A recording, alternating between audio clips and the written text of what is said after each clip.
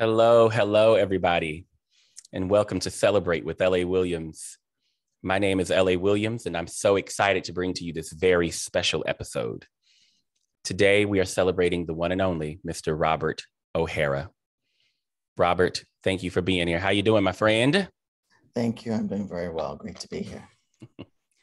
um, so before I jump into the actual conversation, Robert, I want to take a few seconds to talk about what Celebrate is and what it means to me, if that's all right with you. So this series, this moment, um, is a manifestation of a, a moment I had as a, as a, very young theater student at Alabama State University. It was my first semester on campus, first time going to the theater building to see a show. And it was a play called Phaedra by John Racine. It was directed by Professor Dr. Tommy Stewart. And it was one of those experiences where I was completely taken over by the theater. I was like, oh my God, what is this? What is, I want to spend the rest of my life doing this on stage and um, it was i was truly bitten by the bug as they say. But the other thing that happened was that i remember feeling an overwhelming need to find everybody involved in that production and say thank you to them. Thank you for inspiring me. Thank you for giving me something to hope for and look to and all the things. Um, and that was truly when i think about it the genesis of what is now celebrate.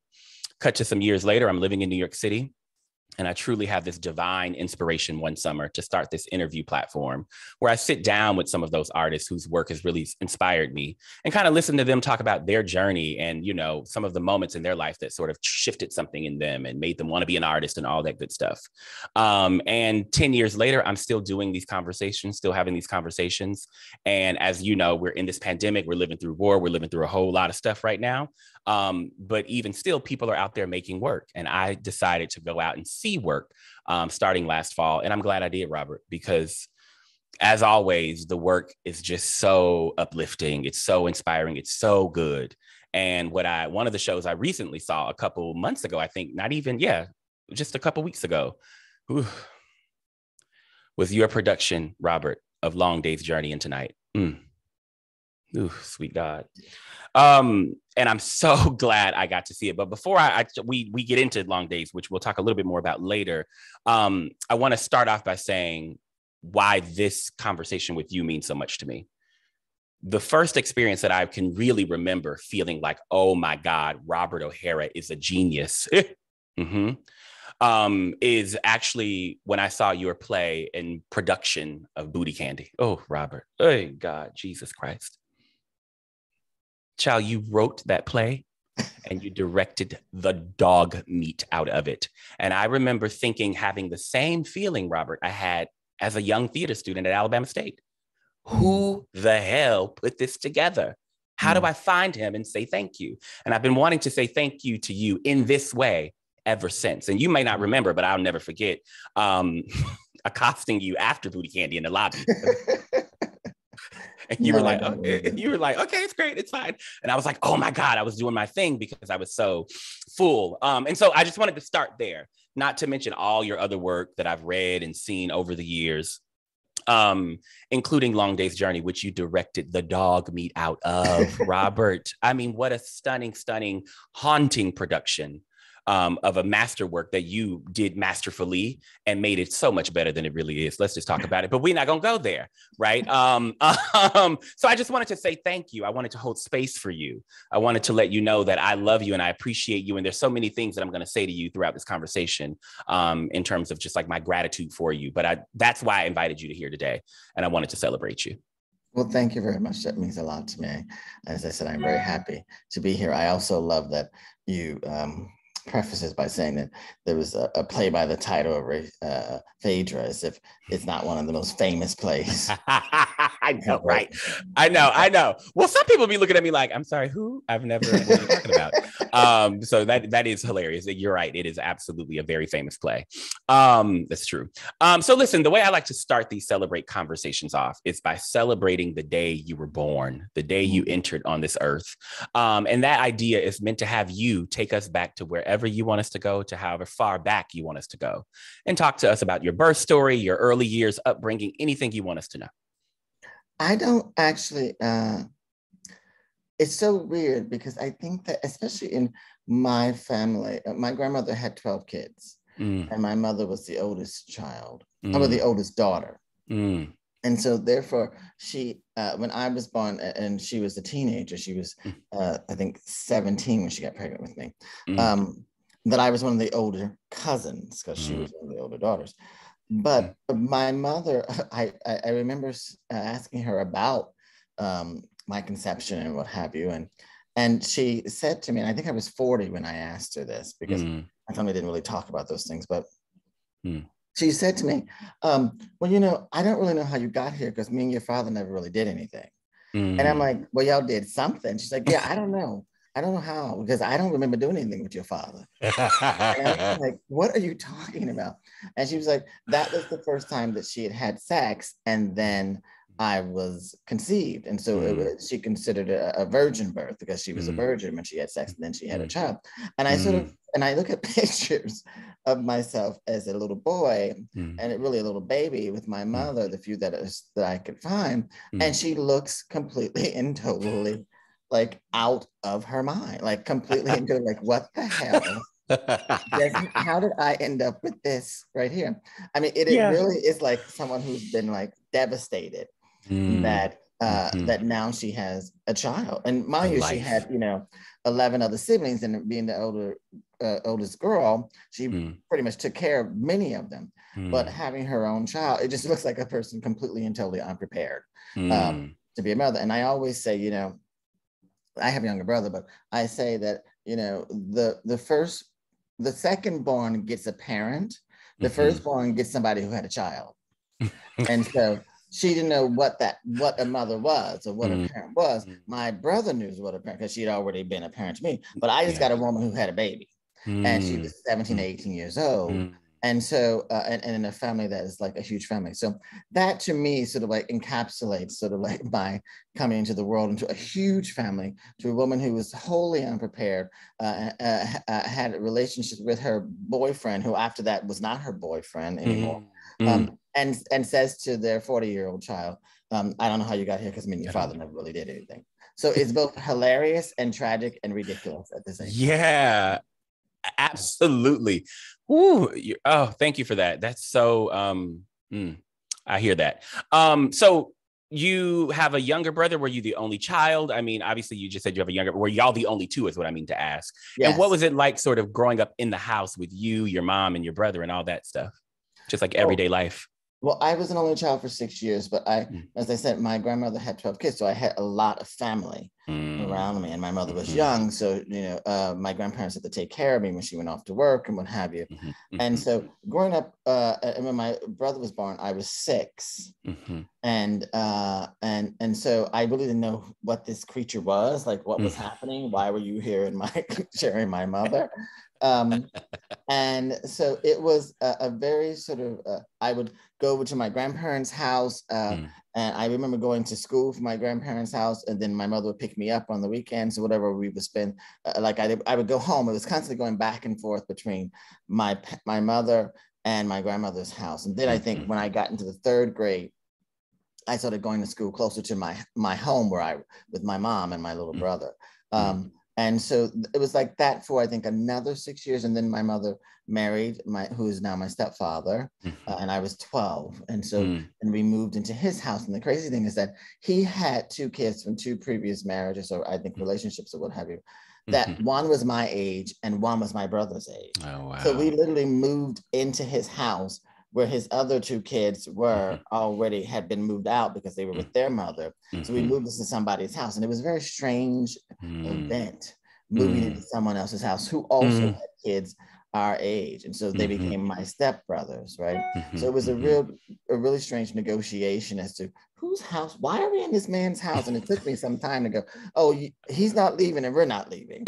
We're gonna be here for a while right? so that, and, and, and also for the first 12 years, the formative years, not having a, a, a, a, father figure. I knew my father, my father would come around every now and then, but I didn't mm. really have a father figure to, to, all of a sudden sort of being thrust into this man's house mm. and being like, he's an authority figure to me. It was like, mm. ah, because at 12, you're sort of like, I, I have sort of had formed my idea about my identity in a way mm-hmm. and who I mm-hmm. was listening to. And I grew up in a very sort of female centric family, mm-hmm. and the mm-hmm. women were really, you know, in control. mm-hmm. of most of my comings and goings and whatever. So mm-hmm. to have this man in the middle of here uh, was very strange uh, mm-hmm. and awkward, especially as a queer child as well. Um, so that was uh, an interesting negotiation. Wow. Ooh. Robert, where did you grow up? Where were you born? I was born in Cincinnati, Ohio, hmm. and uh, I escaped at 18, as I always say, uh, to, to, Boston, and then I hmm. escaped four years from there to New York, and I've been stuck mm-hmm. here this whole time. But hmm. um, I always think of Cincinnati as like a wonderful place to sort of like grow up when you don't know what the hell's going on around you, mm-hmm. uh, and that you know a lot of people Cincinnati prides himself on being sort of on the north, but you like I always say if you can see the south, then you're in the south. That's right. And you, and you can see Kentucky across the river, Ohio River. You can. So yes, you, you know, can. you in the south, whether you That's think right. that you're in the north or not. But also there's a lot of migrate the great migration and many uh, black people migrated from from the south to places like Cincinnati, Chicago, you know, those mm-hmm. places. So my grandparents migrated up uh, mm. and then began having a bunch of their, their kids in Cincinnati. So it was this really sort of interesting combination of northern and southern, mm-hmm, and mm-hmm. and and also the so, so racism played in many ways very subtly and then blatantly at times. But as a kid, mm. you're sort of protected some mostly because I was around my family members most of the time. But going mm-hmm. back to Cincinnati, I'm just like, did I grow up here? This place is mm-hmm. really, really different than what I mm-hmm. remember it mm-hmm, as a mm-hmm, child. Um, Mm-hmm. Oh, that's so good. Um, was there an event that happened in your sort of first 12 years of being in Cincinnati that you remember that sort of Cincinnati was known for, or um, that was sort of big uh, nationally, or just something like a big sort of transformative event that took place in your young childhood that you can recall? I don't, you know, I know that there were things that had happened but I don't, I, I vaguely, and I, am probably getting the dates wrong, but I do remember something, uh, uh, uh, and it's a fact that uh, the Mapplethorpe scandal, uh, mm. his, his pictures were being presented at one of the museums mm-hmm. and they were supposed to be pornographic or whatever. And I don't know what age I was. I really don't mm. even know if I was still in Cincinnati, but it, mm. but in my psyche as a grown mm. adult now, I sense that that event had something that resonated with me mm-hmm. because I knew also embedded in the conversation was homosexuality, mm-hmm, mm-hmm. was men, was cocks, mm-hmm, you know. Mm-hmm, and so mm-hmm. even though I didn't know exactly what it was, and I think you know after this I'll probably research and find out that I was like 35 years old, whatever. but yeah. uh, but I do remember there being the controversy of that. So I mm. think that was a, a major event, and I think um, I guess another major event uh, for me was sort of like musical, uh, finding my um, my theatrical, uh, uh, starting my theatrical journey, and mm-hmm. that my uh, um, family, I had a lot of brothers, I, mean, I had a lot of uh, cousins, mm-hmm. and we would always go over to my grandmother's house, who has a huge house, and mm-hmm. and there was all this sort of like storytelling that I would mm. put together, and we would put mm. on stories in the backyard and make up mm. plays, make up musical stuff. So there was a lot of imagination that was being sparked from just hanging out around family members, uh, um, which was exciting to me. Mm-hmm. You mentioned queerness, your queerness, and I'm curious to hear you talk about when did you know you were a queer person? Was it very early or was it much later? And how did that sort of show up in your everyday interactions with your family, your cousins, everybody? Like, well, I, you know, I, I, I don't think the word was in my sort of vocabulary mm-hmm, until mm-hmm, adulthood. Mm-hmm. I knew I mm-hmm. was different. I mm. knew that my uncles, who, because my, once again, my mother was the oldest um, daughter, most of my uncles and aunts were teenagers when I was growing up. Mm-hmm. Right, right. Can be brutal to little kids. Yes, yes. And so can. I was called. I can remember being called faggot on a regular basis by mm. my on a regular basis for all manner. And I didn't really know what that really meant. I knew it meant that I wasn't doing something that other boys did, or I wasn't participating in a way that other boys did. Mm. I also knew I had a, a, a, different type of interest in boys mm. than uh, other people did. I didn't play sport. I could care less about playing sports or mm-hmm. or doing certain. I didn't play with dolls either. I read books, mm-hmm. um, mm. and so I did. But also, I I I know I uh, I I peed in the bed. I, I wet the Mhm. bed Mhm. to way into my teens. Mm, And so mhm, now, so I know that something was connected to that and mhm, and the sort of abuse, uh, verbal abuse. But once again, I label that these were teenagers. Many of them Yes, became juvenile delinquents. Exactly. You know, uh, and, and so and the odd thing was that you know it always felt to me that the sort of homophobic slurs got more and more uh, uh, um, vicious whenever one of my uncles would return from jail or from being Mm, incarcerated somewhere. mm, And so, as an adult, realizing sort of like the activity that is condoned or that happens in jail, and then the sort of shame that happens after getting out of jail for certain things may have played into their relationship Mm. to having this young nephew mhm. who sort of either reminded them of their behavior or uh, placed some sort of fear of, as to what they were what they were doing. But I do remember it being something that, and they wouldn't say it oddly enough. They didn't say it around my mother, and they didn't Mm. say it around their sisters or my Mm. grandmother. But Mm, you know, they would get me in different places and find me around corners or whatever Mm. and say the most vicious things uh, to me as a little boy. And so I Mm. created this sort of tough skin. I had a, you know, a loud mouth. I had a quick wit and I could give a damn about what they were saying. And I think that was part of my protection uh, mm, around mm. that. Yeah. Ooh, Robert. Oh, child, you are sending me right now.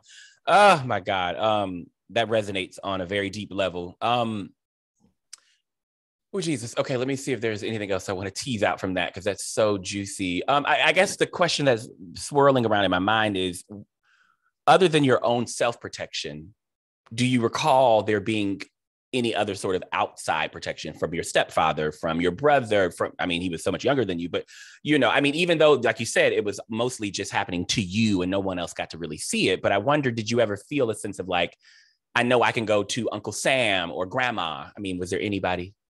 Well, only because it was just, you know, to me, it didn't have any weight to it Mm, because there was okay. no uh, ramifications on you calling me that. You were just Right. being an asshole to me. right, right. As got you've it. always been an asshole, Right, and you're an asshole right. to everybody.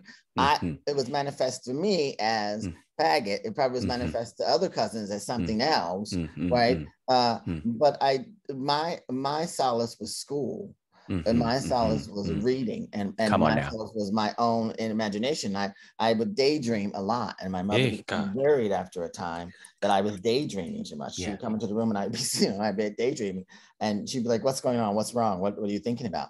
Um, but I always had I, I I sort of I guess I ran into my imagination Hey, God. and I kept my imagination a place that was safe for me. And Mm, school allowed me and, and and being sort of like in advanced classes and being Mm. pushed forward and being told that you were smart allowed me a, a, place to retreat. Yeah. And and a, but but it was also an incredibly giving and warm upbringing. You know, that you Mhm. always are going to have assholes because That's I didn't right. get to pick my family members.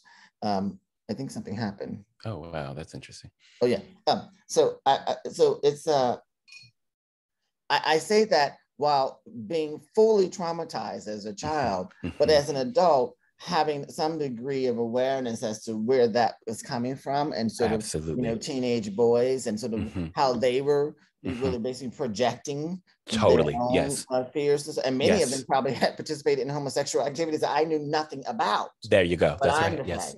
That's right. Yes. So, Right. Exactly. um, so I, I think that uh, I, I actually enjoy. I have to say, I really did enjoy my my my childhood. Although I spent every waking moment trying to figure out how I'm going to get out of here. Get out know, of it. Wow. I knew there was more to my life, and that Hmm. Cincinnati, and and I think every child sort of figures out like what else, what is the opposite of where I am now, Uh-huh. and uh-huh. that's what I want to be. You know Mm, and what Mm. I want. So I was I was obsessed with trying to waiting for my exit so that I could reinvent myself and live inside fully. But school and plays and drama and the imagination and my grandmother, mhm. who was a very important person to me.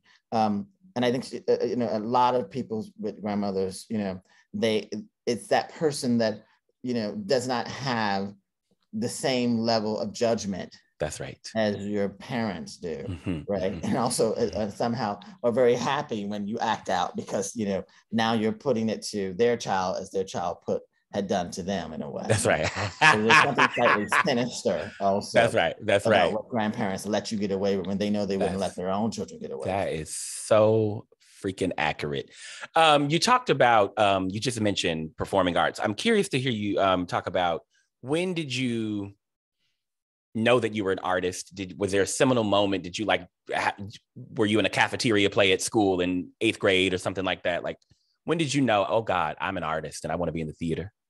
Well, you know, I didn't actually think of artistry, uh, art as anything other than extracurricular or hobby. Mm-hmm. So I didn't mm-hmm. think of it as a profession, but mm-hmm. I knew I was an artistic person from very mm. early on. Mm-hmm. I, as I said, I mm-hmm. was writing things and putting on plays with my cousins. But I do remember the one time, uh, and the very first time that I had, I, I decided that I was going to write something, and I mm. wrote this thing.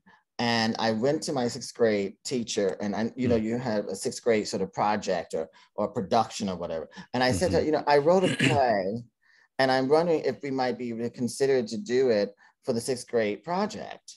And she's like, what is it? And I said, well, it's this play that I wrote, and it's called, uh, it's an adaptation of Snow White and the Seven Dwarfs, mm-hmm. uh, but it's called Ebony and the Seven Cool Cats. now, mind you, in my elementary school, there in my sixth grade class, there was one white boy. Everybody mm. else was black. Black, okay. Right.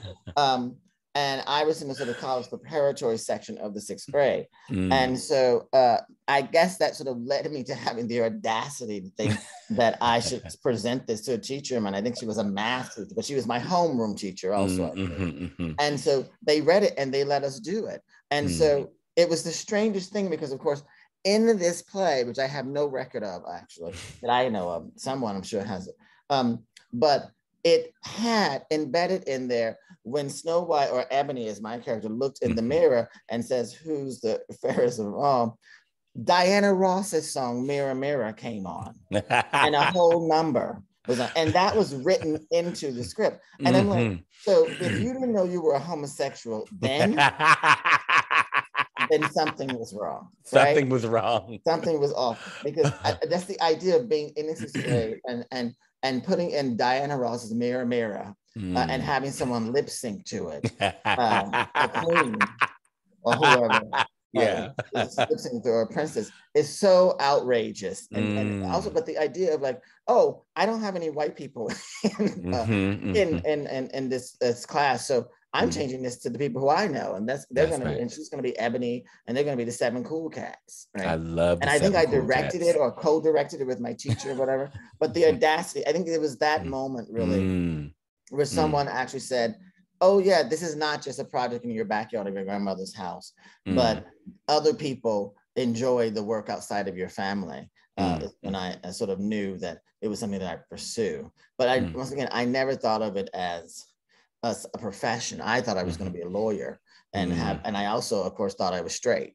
You know, mm-hmm, because mm-hmm, even mm-hmm. knowing that you're different, you right. still believe that somehow you're going to be in, in, right in the rest of the world. I know.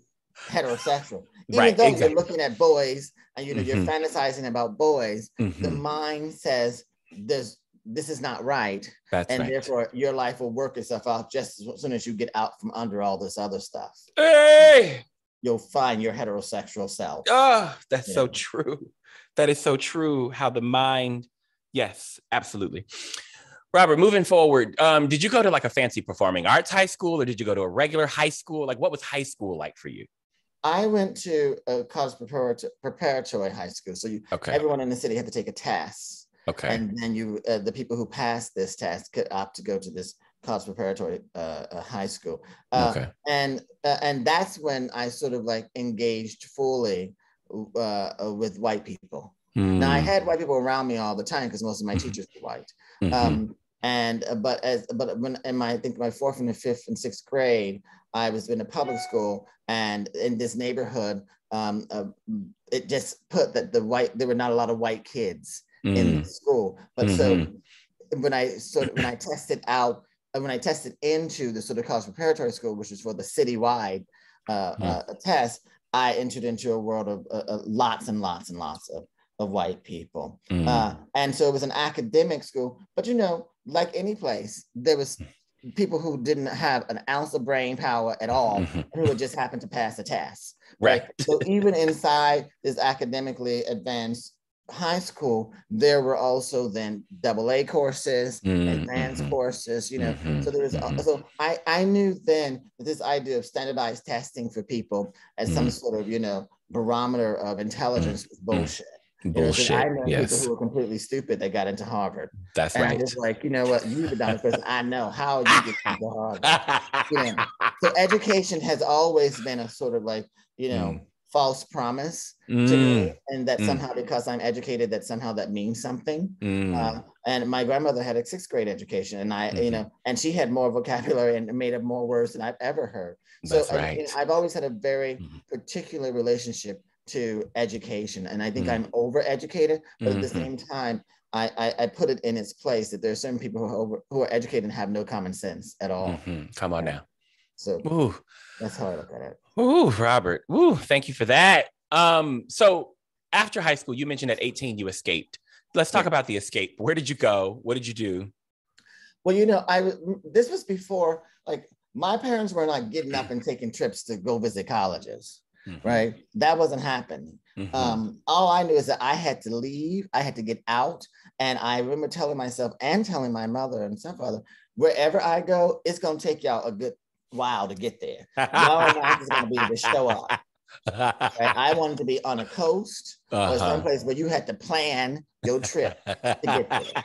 Um, and I had enough warning. So, you mm-hmm. know, I this is also the time where, you know, they didn't have it was there was no internet right? Mm-hmm. So what they had was these, I think, uh, beta uh, VHS VHS mm-hmm. tapes or these mm-hmm. clips or whatever, mm-hmm. videos of colleges, campuses, and like they would do mm. introduction of videos and whatever. So I remember seeing in brochures, seeing this thing uh, um, about a place uh, in uh, Massachusetts, and there were a couple of places in the Northeast. Uh, mm. And so my teacher said, well, my counselor, because I had a high school counselor, and she was like, I think you should try to think about uh, Tufts or uh, um, there was another school, Williams, or mm, um, mm-hmm. uh, or maybe Hofstra, or mm. you know mm. whatever. And I said, but what about Harvard?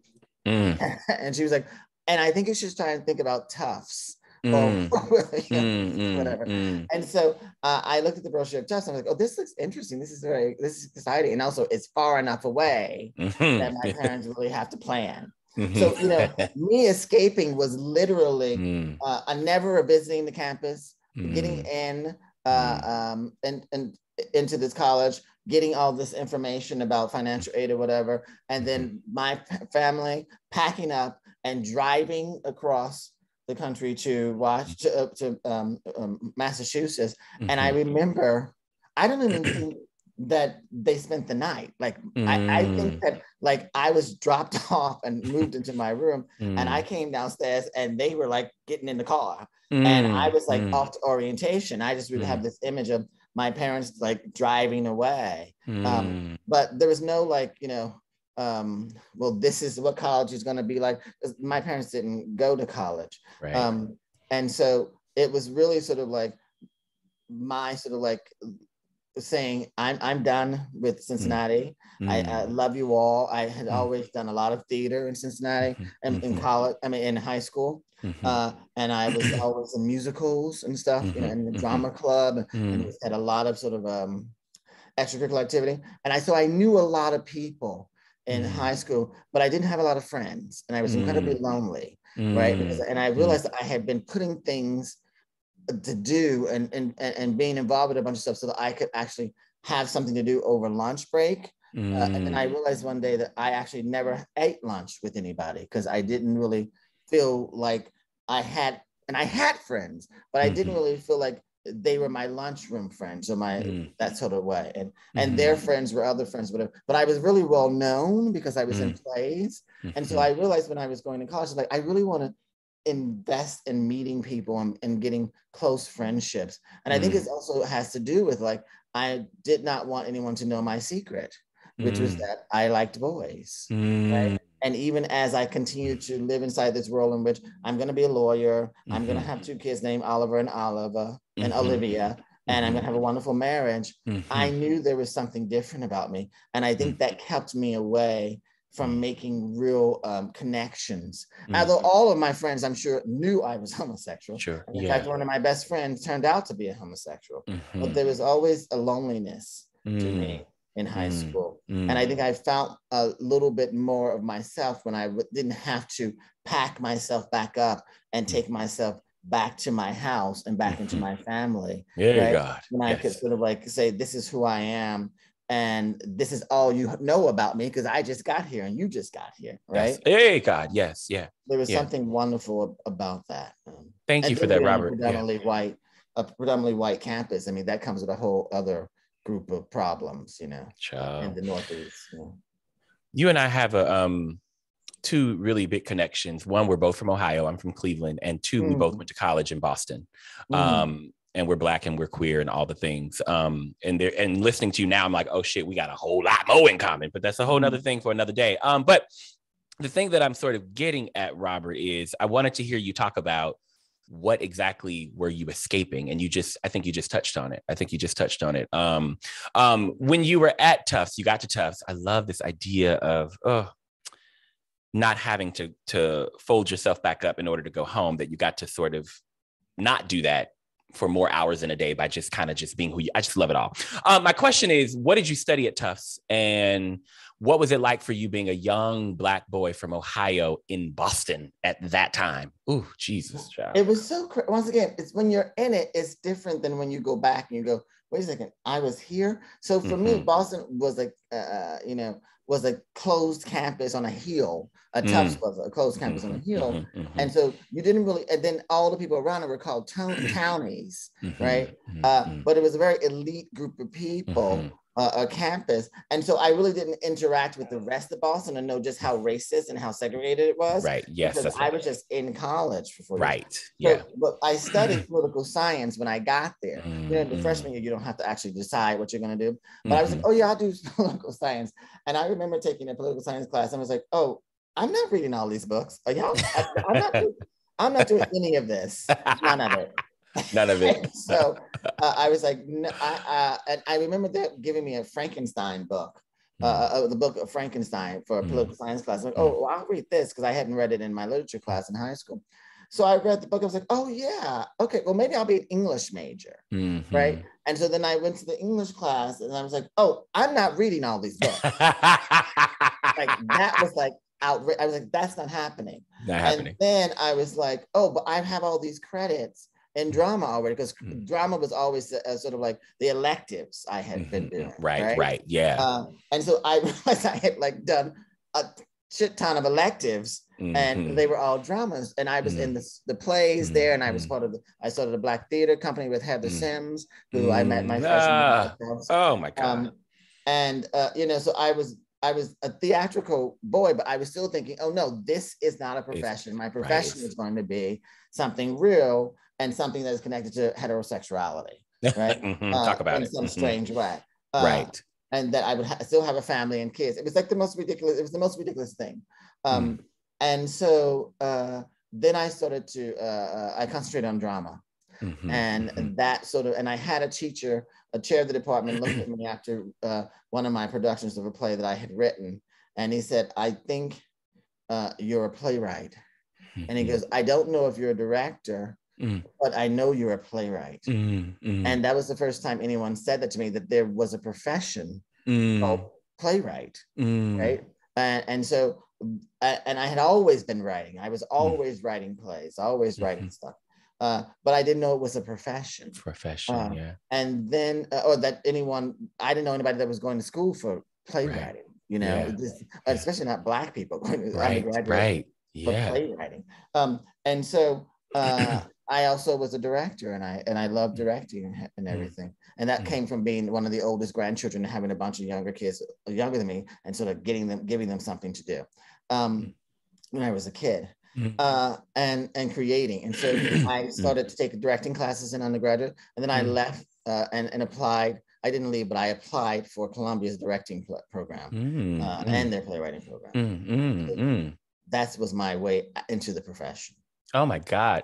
Did you go directly into grad school after I did go directly into grad school, and Columbia. Uh, uh, I remember going to my interview um, at Columbia for directing, and they said I was one of the top candidates and that I should be hearing from them soon. And I went back to my uh, college and I was like, oh, I'm not coming to this class anymore because I'll, I'll, I'll finish this uh, Spanish class at Columbia because I'm going to mm. Columbia. a week later, I get a rejection letter from Columbia for mm. both the playwriting and the directing. Oh. And I was like, uh, and I couldn't actually leave my room. Like I was like traumatized. I was in a state mm-hmm. of depression. I stayed mm-hmm. in my room for a week, mm-hmm. and then I realized I remembered that a, a high school um, counselor said, if you don't get into a college, call up admissions and let them know how much you're interested, and maybe they'll put you on the wait list, right? Because everyone mm. can't go to every college they get into. That's right. Yeah. And so I called up the chair of the um, the directing program and I mm-hmm. asked him, uh, I said, hey, he's like, hey, Robert. And I was like, uh, so I got my rejection, but I thought you said I was one of your top candidates. And he said, um, hold on for a second. And the dean of the school, I think, or maybe the chair mm. of the whole department got on mm. and said, we sent you the wrong letter. Uh. Uh, and that you had definitely got into the directing program and we hadn't made decisions yet about the playwriting program because it was a dual mm. program that you could do. But you'll be getting your admissions letter from the directing program, and we will find out if you get into the playwriting program soon because we haven't made those decisions. To this day, I have never gotten an acceptance letter uh, from Columbia. All Talk I have is a rejection letter. That's and I, I started getting some financial aid stuff. So I was like, oh, that means I'm in. So I just showed up and mm-hmm. they had me in the records, right? So mm-hmm. they mm. never got around to sending me an admissions letter uh, for, uh, from Columbia. So, but that's where my MFA is from. So I, I did go directly into that actually. Robert, I am okay. Pause for two seconds. First of all, let's celebrate the fact that you made that phone call. Eh. Yes. Let's really like acknowledge that phone call that you made and the person, you know, giving you the inspiration to do that. Yes. That but the other thing that's blowing my fucking mind right now is that I went straight to grad school, which was in Boston, from undergrad based on a phone call I made. Mm. Hmm. Hmm. Very interesting. And it was after that two hour phone call with the chair of the performing arts department at Emerson College. He said to me, if you can get me an application in by the middle of next week, I'll consider it. And then I got all my shit together, you know, recommendations. And then um, a couple months later, I got started getting financial aid information. So again, it's it's wild. Yes. Um, and I love that you acknowledge that you never got that acceptance letter. So it leaves me to wonder.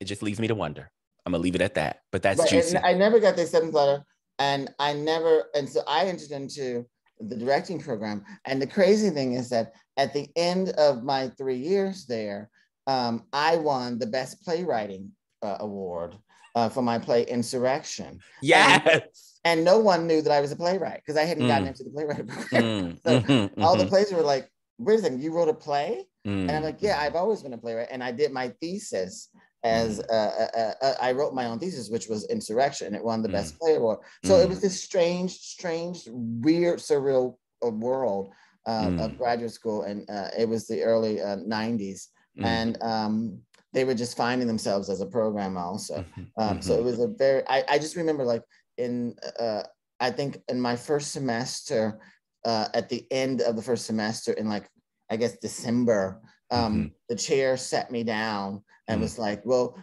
the consensus among uh, your teachers, your professors, that you're a little bit too focused on um, uh, homosexual issues and African American issues. And I'm looking at him like, mm. this is a white man sitting fully up in the middle of his office in Harlem, mm, right, telling his only black queer mm-hmm. out mm-hmm. uh, uh, a student that I'm too focused on African American issues and uh, homosexual issues, and that I need to broaden my scope. And I was just thinking, and I just started laughing. He was like, mm. "Why are you laughing?" And I was like, "I just think this is wild." Did you tell my colleague from before that she's too focused on German expressionism and feminist ideas? Come on now, come on. Did you say that to her, mm, or are you mm. just saying it to me? Because mm. we're fully sitting inside Harlem, and you're telling your only black right that I'm too focused on who, who I am in my work. Mm. Ah. Um, and so I just started laughing. Um, mm. And it was like it was constantly surreal experiences mm-hmm, like that. Mm-hmm. Yeah. I think that sort of also led me into writing my uh, play, mm-hmm. uh, which is about a Columbia student in mm. graduate school who mm. goes back in time and mm. uh, falls in love. Um, so it was a really sort of wild, uh, a ride at Columbia. Mhm.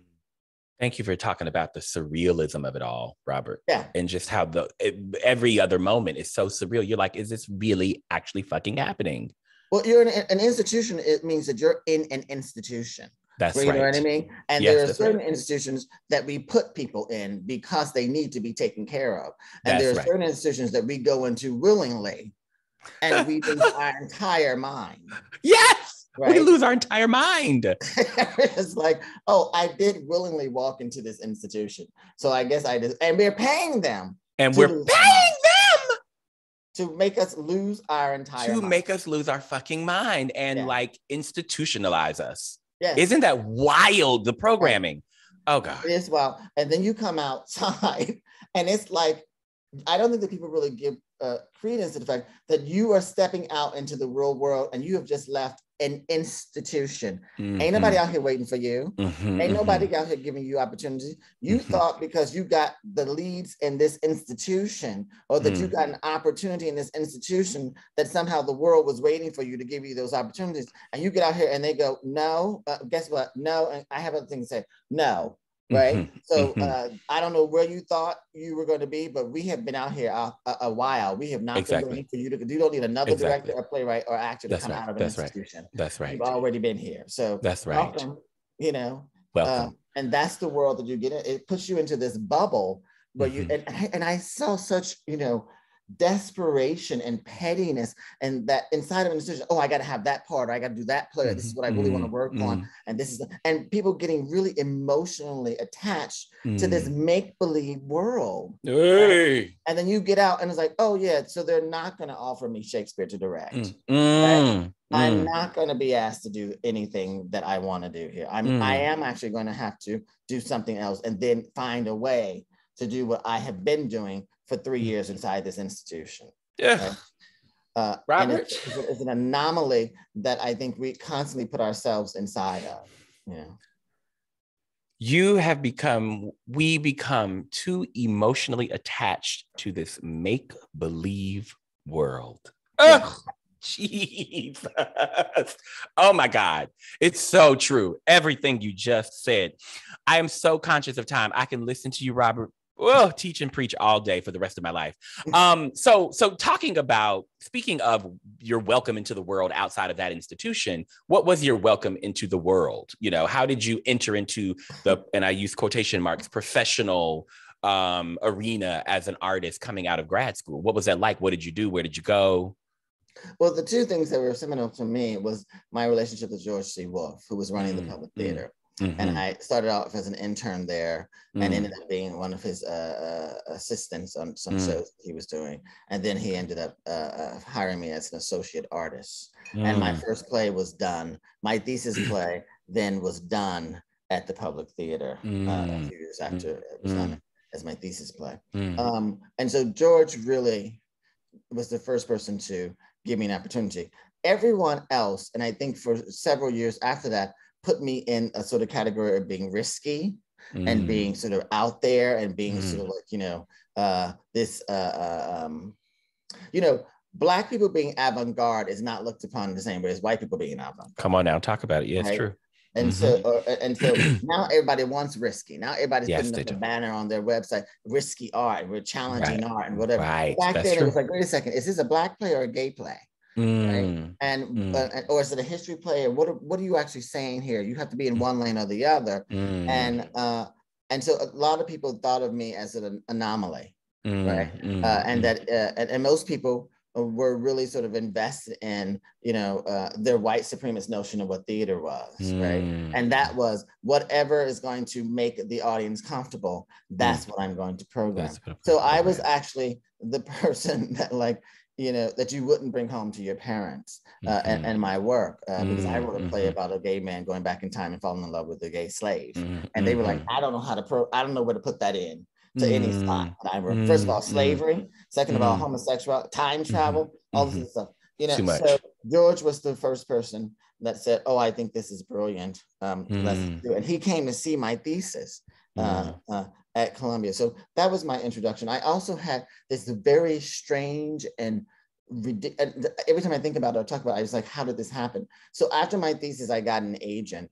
And about six months into having this agent, I got a call saying uh, there's a, a producer who's looking for someone to write a biopic based on Richard Pryor's uh, autobiography. Wow. Uh, called Pryor Convictions. And I thought that you might be interesting because he's gone through all these other known writers and he just doesn't feel like they're right for it. And I thought, mm-hmm. he's like, do you like Richard Pryor? I'm like, um, what? Of exactly. course I like Richard. Who does not like, like white people ask you like questions like, well, do you know who, uh, you know, uh, uh, any random black person that every black person should know is, and you're like, uh, yeah, I've been black yeah. my entire life, right? So yes, I know who Richard Pryor is, and I and I and I do like his his uh, um, his comedy. So he said, well, why don't you? Um, I'm going to put you in touch with him. And I said, well, wait a second. So I took a little time and I uh, got the book, I read the book, and I put together a sort of 10 page, mm. 10, uh, the first 10 pages of a script of a movie. Mm. And it was mm. explicit, it was rated mm. X. It was like, I didn't have any clue as to how to write uh, a movie. But I wrote it, and then six weeks later, I get a call from my agent saying, "So the producer has read it, and he gave it to the director who's going to be doing it, and they want to meet with you, and mm. and, and, they want to meet with you next week." And I'm like, mm. um, what are you talking about? He's like, well, that thing that you wrote that was explicit, they're very excited about, and they mm. want to meet with you. I'm like, well, who's the director? And he says, Marty Scorsese. Mm. And so I ended up sitting in a room with Martin Scorsese uh, oh a God. week later, mm. and him saying to me, well, so, you know, what do you need to start this? And I said, mm. money. And he goes, well, we got that. And mm. so I ended up I, I, at the end of my thesis time mm. at, in, at Columbia writing a biopic mm. of Richard Pryor for mm. Martin Scorsese. Mm. Right? And I mm. and I and from that process, I learned a lot that a lot of uh, creativity is used and mm. never produced. Come on now. Right? And so that uh, I made a lot, a very good living for a while off of doing things in the film industry that will never be seen. Uh, and that these, you know, and when you get to a certain level as a director, you're sort of having 17 different projects and people writing projects for you all, all the mm-hmm. time. You mm-hmm. can't direct all those things. And That's certain right. times, you know, the options lapse and whatever. But it was a very good lesson. And because then people started to think of me as a screenwriter, mm-hmm. and yet I was a director of the theater. Mm-hmm. And I and I had and then my play was done. So now I'm a playwright as well. Mm-hmm. So they mm-hmm. actually didn't know what category to put me into because I couldn't be a fully uh, formed person. I had to be either a mm-hmm. playwright or a screenwriter or, or mm-hmm. director. Mm. I couldn't be all three. A whole person. You couldn't be a whole uh, person. Now, and I always equated to like they wanted me to walk in the room and leave my arm and one leg outside the door. Oh, you know, but mm. not bring my entire body into. I yeah. Hey. both yes. my blackness and my sexuality yes. and my history and my family. Yes. And so yes. to tell me if it's a black play or a gay play, I'm like, it's all that and so much more. And so much more that I can't. Hey, God, yes Robert, how did you know uh, George C. Wolfe? How did he know to come see your thesis? Were, were you the talk of the town at that time, no, or, no, or no. did you so write him a Columbia, note? Most grad students, grad programs require you to do internships at the end okay. to do your okay. thesis and to do. Oh, got it. Okay, so got it. At that point, uh, I think one of our professors uh, in the in the Columbia was general managing uh, Angels in America. Got it. And he had just started uh, at the public, and so I wrote him a letter and mm-hmm. said how mm-hmm. much I would really love to work with him because of mm-hmm. course I had read and been in the Colored Museum in the college. Right. Yeah. The only black gay person in the theater that I knew of. That's right, right. That's right. And I was like, and he's running a major American theater, and he's yes. directing the seminal American play. So That's I'm like, right. uh, I'm never ever going to even get an interview. But he read mm-hmm. it, and I, I guess I spoke about myself in whatever way he saw himself in me yes. and, and and so like you know he invited me down for an interview and and the rest is history can i just take a moment robert to celebrate again you writing that note to him him reading the play and responding to it and inviting you to be a part of his team at the public celebrate George C. Wolfe, y'all. I mean, yes. let me tell you something. I mean, let's celebrate this obviously legendary artist and human being. Um, and also, I just want to take two seconds, if I may, to celebrate Heather Alicia Simms too, who you mentioned earlier. I mean, yes. genius artist. Yes. Um, but yeah, that's that's incredible. So so so wow. Oh God. Speaking of mentorship, I want to just celebrate the fact and say thank you for being a sort of acting mentor in my life um, over these past however many years. Um, you know, I think it was after Bootycandy that I begged you for a sit down, and I remember we went and had a burger at um, some burger joint in Hell's Kitchen. And um, and ever since then, Robert, you've been such just a force in my life in terms of someone I can go to, cry to, curse to. All kinds of moments that we've had. So I just want to say thank you, Robert, from the bottom of my heart, friend, for um, just creating that space for me, recommending me for things that I'll never know that you recommended me for, and mm-hmm. the things that I do know about. Um, it is so important, you know, um, that we have those kinds of relationships in this business, but also, um, yeah, I, I just I, I think that your presence in this community has made my presence a lot more possible and easier. Mm. Mm. Well, thank you. Uh, um, so thank you. Do. That's all we can do. All we can do is make a way and that's hope right. that the way has been clear to make it easier. You know, as people walking in a certain direction, you sort of mm. you make the path a little bit easier. That's exactly right. Walking in that direction. That's exactly right. right. That's exactly right. Exactly right. And and and also the holding space of it all, which you do yes. for me. Um, uh, okay, listen, I could talk to you forever, but I want to I want to carve out a moment to simply say, um, thank you again for Long Day's Journey Into Night, Robert. You directed that show so beautifully, and you're the oh, I'm first of all I'm haunted by it and the unforgettable performances of that entire cast, mm-hmm. especially mm-hmm. Bill Camp and Elizabeth Marvel. Let me tell you something. Elizabeth took me up and through it. I felt high. Okay, I left the play thinking I need to go get a drug test, child. Yes. I felt like I had just come off of some big big sort of you know um thing. And so thank you for that stunning stunning production and all your work. And congratulations robert. Let me just take a moment to say congratulations on your tony nomination for your incredible beautiful stunning elegant direction of slave play. Thank you very much. You uh, know. and is a very uh, um is is I, I, I, after not actually, you know, spending two and a half years almost in a pandemic and then coming back and sort of like remounting slave play and then doing Long Day's Journey into Night, it's sort of like, you know, both plays are, you know, operate in, in such a deep seated mm. uh, section of trauma mm-hmm. inside mm-hmm. uh, mm-hmm. Uh, those mm-hmm. plays. And I think, as I always say, I'm only actually really invested in, uh, in, in characters who have really uh, uh, interesting problems. Like I'm not mm interested in working in plays where with healthy characters, mm-hmm, right? Mm. I'm interested in sort of working out the messiness. Uh, yeah. And both yeah. those plays have a level of mess that's mm-hmm. so incredible. And people come to the plays, and this is what I was saying to my husband the other night. It's like, it's really amazing that people will come to a play called Slave Play and leave and go, oh, I was offended. Mm. And I and I I was uncomfortable. And I'm mm. like, well, you walked into a room with the title slave on it. Slave play, exactly. Into, you know, a picnic basket mm, and mm, handed mm. it out and made you feel like what were you expecting? And this called the long day's mm. journey into night. All mm. those words should yeah. lead you to believe that this may be some shit that ain't mm-hmm. gonna sit with me just right. That's right. You know That's right. I mean? So you go into these, it's like going on a roller coaster and go, oh, wait a second. I was a little bit concerned because it went fast. Mm-hmm. And I was a little bit scared because it was really mm-hmm. high up. I'm like, but you walked into a roller coaster. right, exactly. so I like to actually, you know, mm-hmm. acknowledge uh, the fact that, you know, I'm not here to make you comfortable. Mm. Uh, uh, and, and that your comfort is not a part of my reality because no mm. one's in the world making me comfortable. Mm. Come on now. Experiences, mm. and mm. and you can choose to get up or you can choose to to uh, to stay. But I mm. think that it's very important that so often as artists, you know, people come in and they think that it's our job mm to entertain them. Mm, uh, mm, that's right. and, and and I'm like, how can I entertain everybody sitting in this room at the mm. same time? You know mm, what I mean? I can only give you an mm-hmm. experience you can like or not like it. That's right. Um, and so those two uh, performances, uh, those actors are uh, mm. are so amazing because they have to go mm-hmm. out and live inside that. Yes, yes. Over and over and over again. Over and over again. And then yeah. have people go, well, you know what? Um, that was really sad to watch. Mm-hmm, I'm like, mm-hmm. yeah, and you're welcome. Mm-hmm, and you're mm-hmm. welcome. Mm-hmm, uh, and I, and I and think you're welcome. That's what uh, I, I sort of live my sort of uh, do my work by is going, this is the experience. You're welcome. Mm, I love that. I love that. You're welcome. I love that, Robert.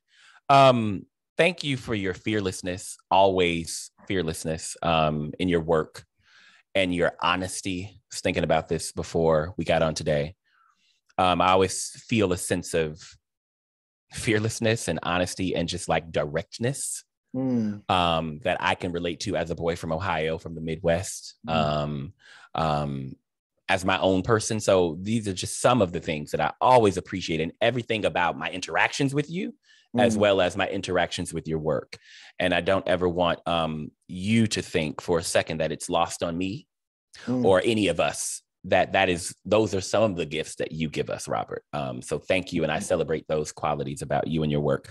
Um, listen in the spirit we're moving we're almost there robert i promise. In the spirit of lighthearted and fun um, lightheartedness and fun um, i'm just curious like what are some of your favorite things? Like just to get to know you better but also like what's your favorite city your favorite food your favorite song? I mean just your favorite thing to do like just light stuff.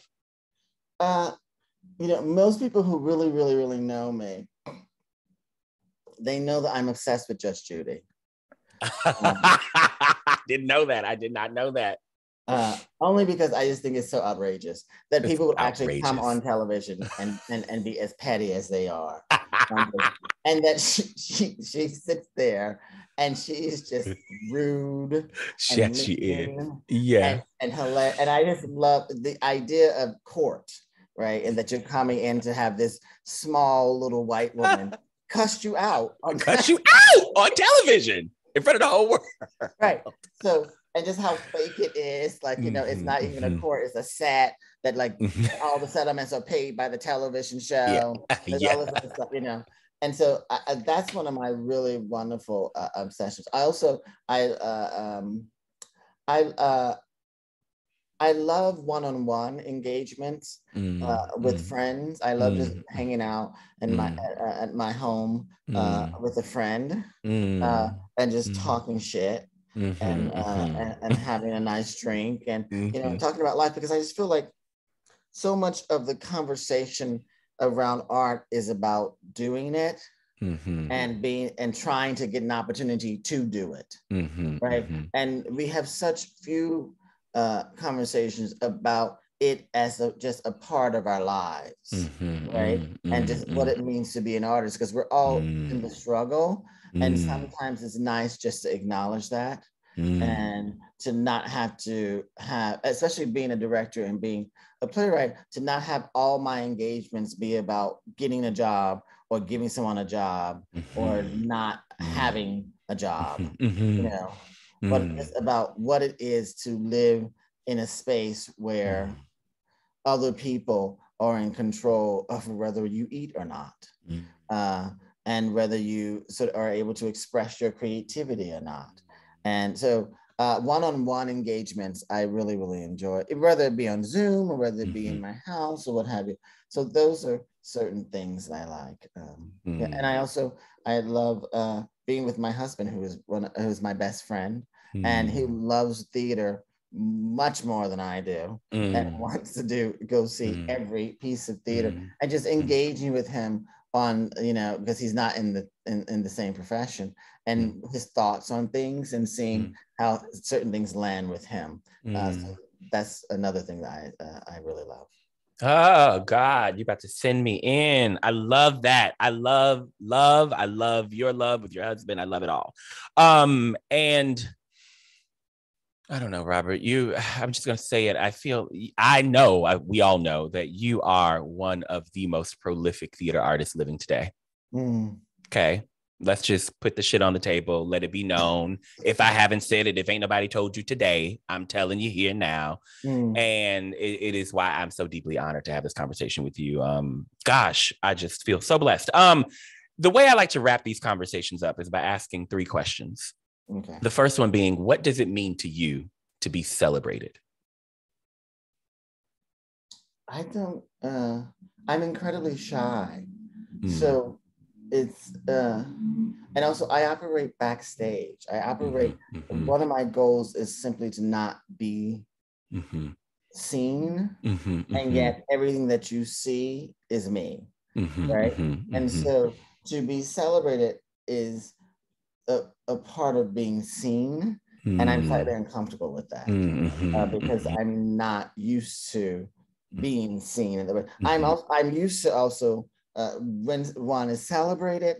Uh, uh, usually, what comes out of that is a sort of ac- accusation of your worth of being celebrated. Mm-hmm, mm-hmm, mm-hmm, I can mm-hmm. only point you to the Oscars mm-hmm, and right. a celebration and mm-hmm. how that can sort of lead to uh, uh, a backlash of whether you should be celebrated. Come so on celebration now. has to me both uh, um, a good and bad thing because I think that you know we're all out here doing the same thing, trying to tell stories and trying to be interesting.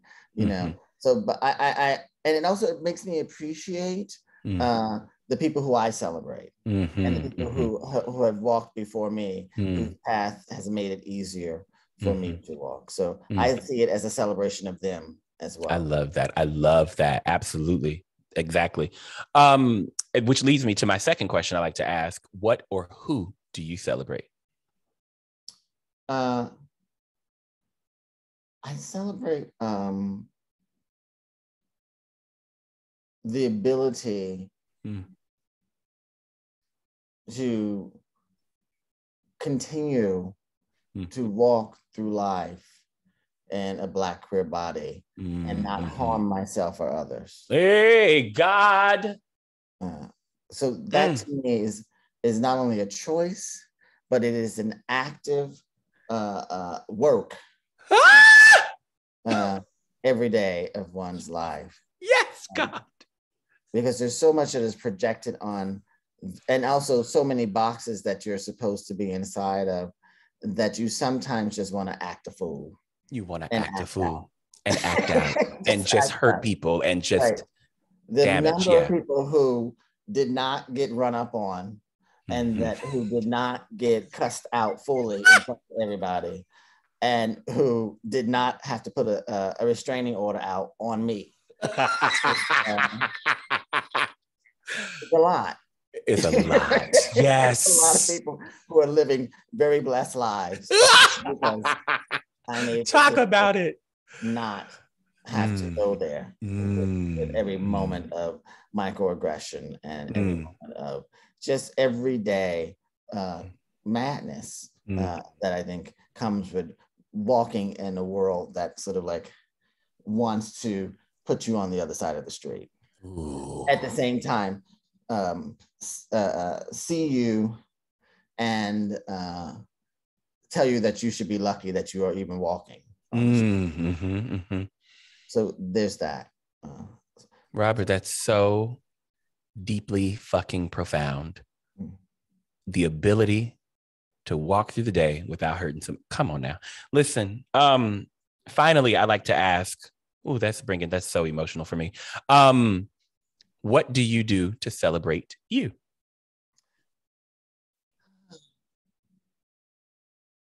I think I uh, I try and find laughter mm. uh, and silliness, mm-hmm, mm-hmm.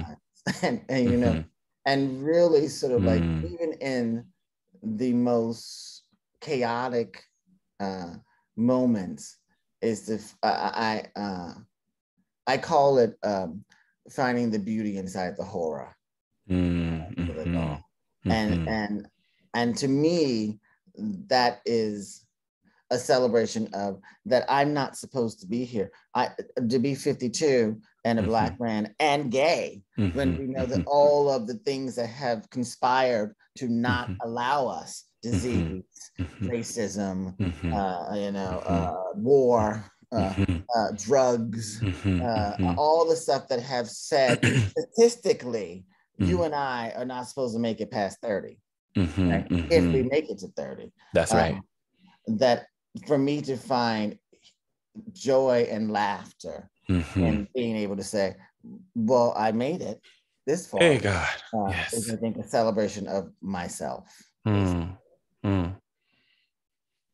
Robert, um, listen, thank you for this conversation. Thank you for reliving um, some of these incredible moments that you shared. And I think I speak for so many people, Robert, when I say we love you so much, we value you, uh, you matter to us so much. Um, And we're just, I, I know that we're all so grateful for your presence again and your voice and your work, you know, and all that comes along with you, and especially this beautiful journey that you've shared. Thank mm-hmm. you. And so let's celebrate this journey. I love it. Thank you for doing this with me. Um, thank you for letting me love on you um, in this particular way. Because um, I know I send you, I cost you with messages all the time about how much I love you. You're like, LA, leave me alone.